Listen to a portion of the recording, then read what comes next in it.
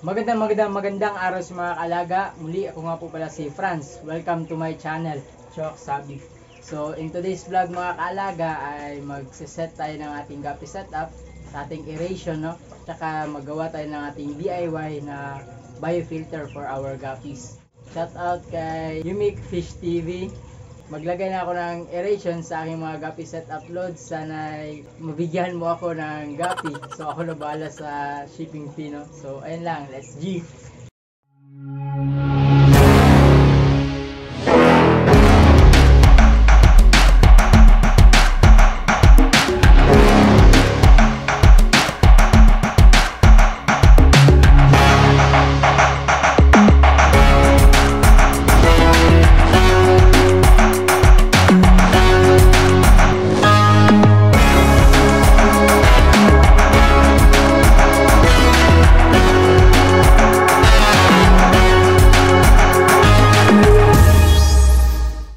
Ito na yung gapi setup natin mga kalaga. Ang ginawa ko dito kagabi ay kinuha ko yung mga filter box. Ayan.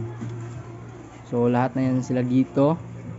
Pati dito sa baba na layer. Then dito din. Ayan. Meron na akong ah, iniwan para maipakita sa inyo yung filter box ko. Ayan mga kalaga yung filter box. Mamaya may explain ako no. Yan. So, bakit ko tinanggal yung mga filter box? Dahil mga kaalaga, mas kon, mas marami yung mailagay natin ng mga filter medias, no? Ayan, no? Napakarami ng filter medias niyan. Kulang pa yan sa isang layer lang, dito lang. So, yung ginawa ko na pag-isipan ko na bibili na lang ako ng ganito. Nabili ko to ng 75 pesos malapit sa amin. Yan, bali 10 pieces 75 pesos na. Ayan o. And then, uh, binutasan ko na pala ito no. Ayan o. So, mamaya papakita ko sa inyo kung ano yung mga kagamitan natin. Yan, PVC pipe, air hose, at saka ito. And, meron pa tayong sobra dito. Ayan. And dito sa taas mga kalaga, DIY na lang ito, mga recycled materials no, sa mineral water. Ayan. Kuha tayo ng isa. Ito yung ginawa ko. Ah, maliit lang siya. Ayan, maliit lang siya kasi for grooming lang, no? Ayan. Then, binutasan ko na din yan. And, ito yung i-explain ko mga kasaga. Ah, ang kaya napag-isipan ko na kunin yung mga filter box mga kalaga dahil marami yung ma-consume natin ng mga filter medias which is magastos and mas nakakadagdag pa ng uh, bigat dito sa ating uh, setup natin no. So, ito dito mga kalaga, ang laman nito, yan, hindi pa siya puno no. Pero ang laman niya mga kalaga is isang puno ng ganito. 'Di ba? Which is magastos talaga. Ito pa lang yan ha, grooming tank pa lang. Paano na lang kaya dito? Na malaki yung filter box na inilagay ko kaya kinuha ko na lang para isa na lang ganito. Then ito mga kaalaga ito nasa kabila ayan mas napakaliit na compare dito is uh, isang punong ng ganito natin recycle natin na uh, DIY biofilter ayan. See? So napakalaki ng diferensya kaya ito na lang yung ginawa ko para makatipid tayo sa mga filter medias and at the same time is hindi mabigat sa setup natin. Then may plano pa ako na babaguhin tong mga air controller natin mga kaalaga. Uh, advice ko lang no? Kung may plano kayo na bibili ng mga air controller mura lang kasi ito pero advice ko wag nyo itong bilhin. Ang maganda bilhin is ito. Itong ganito ito ito mga kalaga itong blue mas maganda ito. And para sure na wala talagang tagas or wala talagang singaw ng tubig pwede kayo bumili ng may clip. Ito mga kalaga meron dyan may clip. Yung ganito. Yan clip sa air hose no? So ito nga po pala yung mga gigroom natin ng mga goldfish. Ayan lang mga kaalaga ang una natin gagawin babaklasin natin to. Kukunin natin yung mga filter box. So ayan lang. That's G.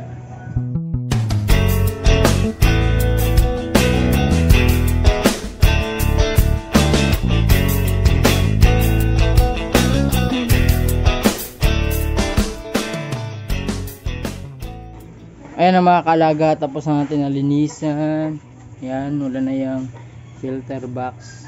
Lagay ko muna dito mga kaalaga. Then, after that, magbutas na tayo ng ating DIY natin na filter. Ang kagamitan natin mga kaalaga ay ito lamang. Uh, posporo, kandila. Purpose na papainitin natin tong uh, nails. Ayan, then tong lice natin para hindi tayo mapaso. So without further ado, let's G.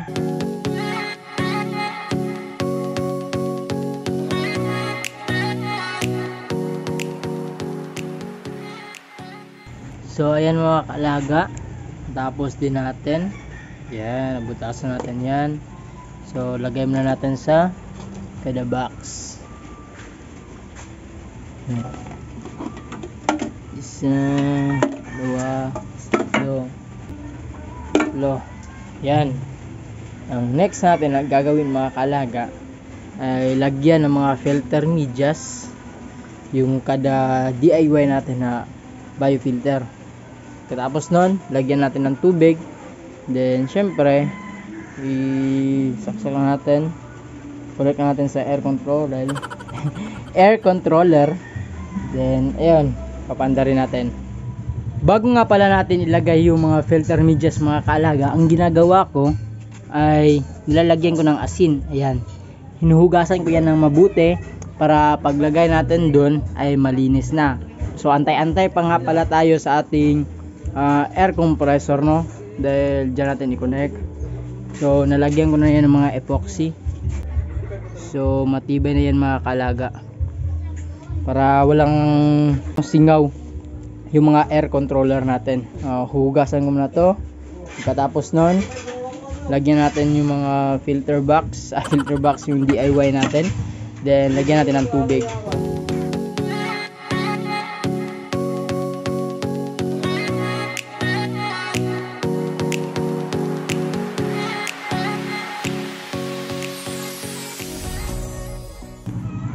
ayan ang mga kaalaga malinis na yan. So 3 times ko to hinugasan ng asin. Proceed na tayo sa paglagay ng mga filter medyas natin sa ating mga DIY ganito lang yung paglagay natin mga kalaga ng filter medyas then lagay natin dito. Yan. Then papabor natin yung air hose dito. Ayan o connect na natin yung air hose sa air controller natin then lagay lang natin siya sa gitna ganyan ang mga kalaga hindi nakasali itong takip So, ganyan yung gagawin natin sa second and first layer. Then, pati din pala dito sa third. Yun lang mga proceed muna ako.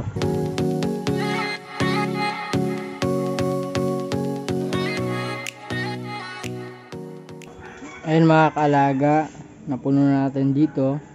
Yung susunod ko na gagawin is dito sa first layer. Third that, dito naman tayo sa third. Yun o. No?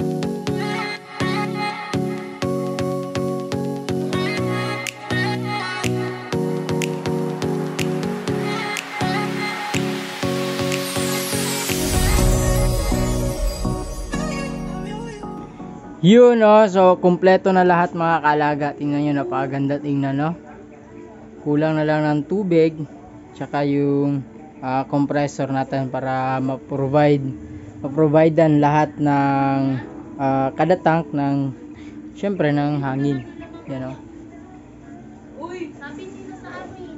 So ayan mga kalaga. So ang next natin na gagawin, lagyan natin ng tubig. Then baka bukas na tayo makapag-vlog ulit kasi inaantay ko pa yung uh, compressor ko yan mga kaalaga nilalagyan ko na ng tubig so balik lang ako pag matapos na to puno lahat no? Meron ng tubig yan lahat. Yan so dito na lang yung problema natin kasi may leak no? Kaya tinapakan ko muna. So dito muna ngang dito muna yung tubig natin. Yan so kita kits na lang bukas mga kaalaga. Magandang araw sa mga kaalaga. Uh, continue tayo sa ating uh, paglagay natin ng aeration nating gapi setup no. So nakabili na ako na 45 watts na air compressor. Tara at papakita ko sa inyo. Uh, ito na mga kaalaga. ang ating 45 watts yan o na air compressor shoutout nga pala kay JM no na nag-stop na siya sa pag-alaga ng isda dahil uh, may opportunity siya na makapaglaro doon sa Davao so good luck sa new journey mo bro so ito na yung air compressor mga kalaga uh, talagang ano no? Good as new. Yan. Wala pa talaga as in uh, na-abuse na paggamit. And nag-cut na din ako. Nag-ready na din ako ng kagamitan. Then PVC yung one half natin. Then yung pinaka-importante is end cap. Nabutasan ko na din yan. Dahil ito yung ilalagay natin dito. So natatanggal ito. Itong ano pala mga kalaga hose. Dito ko yan ilalagay and nakikita ko lang din to sa iba para tahimik yung ano natin compressor pero although maingay siya at least nababawasan no yung ingay yan, ganyan lang yan mga. Install natin doon. Yan. So, maganda itong ganito na setup mga kaalaga, no? yung pipes. Kasi malinis tingnan, hindi kagaya ng mga air hose. Ayun. Napansin ko na mas maganda tong hose kasi mas fit siya, tapos mas fit siya dito. So, connect ko muna mga kaalaga, then mamaya explain ko. Ayan na yung uh, setup natin mga kaalaga. So, tingnan natin.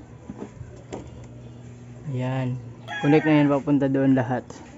Tapos ito yung hose natin. So on na natin. Yun.